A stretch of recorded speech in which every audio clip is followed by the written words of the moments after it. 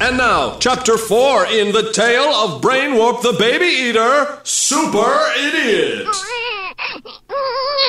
Tonight's episode Five and a Half Brains Too Many.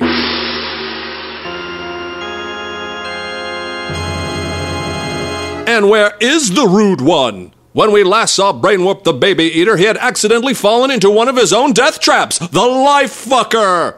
Which can cut a man in two with certain doom at his doorstep. Brainwarp bravely passed out and is now caught somewhere in the dreamy netherworld between sleep and death. Now prepare yourself, dear listener, for you are visiting a place few thought existed the inside of Brainwarp's brain. Wow, nothing is real. Huh? I. Huh? Brainwarp. Brainwarp. It's me, Glasses Man, your old roommate. Glasses Man, but you're dead! You committed suicide like a coward! Brainwarp. You did this to me. You did this to me. You hung yourself! How is that my fault? Go haunt the rope! Brainwarp. You're a terrible supervillain. You're not modern. You don't wear black. You dress like some lame Silver Age criminal, more like the Rust Age. You make Captain Boomerang look like Galactus. You make Frank Miller's Spirit movie look like Will Eisner's Spirit comic.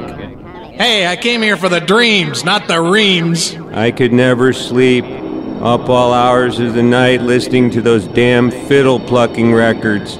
And the stench, Jesus, I thought shit smelled. Face it, you're the worst supervillain who ever lived. Why don't you fucking give it up? Fucking give it up. Fucking give it up. Jesus, you had to echo that part?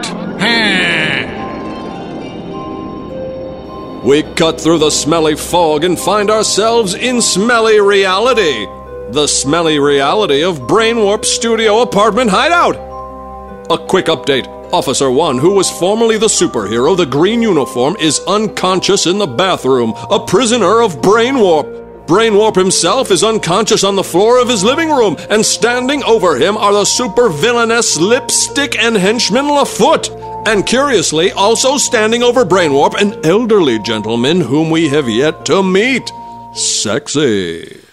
LaFoot, what's wrong with Brainwarp? He's just lying there like a dead tire. Is he all right? Uh, he should be, Lipstick. I think the boss fainted right before I unplugged his death trap. He looks dead. Maybe we should call a doctor. Eh, don't bother. He's dead. Uh. Look, he's getting up. Yeah, he's dead all right. Hey, who is this old man? Yeah, who are you? Uh, Oh, me? I'm from across the hall. I, I heard somebody die, and I thought I'd better check it out. I'll I'll just take off now. Well, bye bye. Sorry for your loss.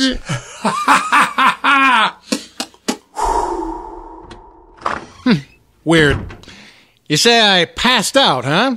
Ah, must have been my courage. Yeah, whenever I get courageous, I faint immediately.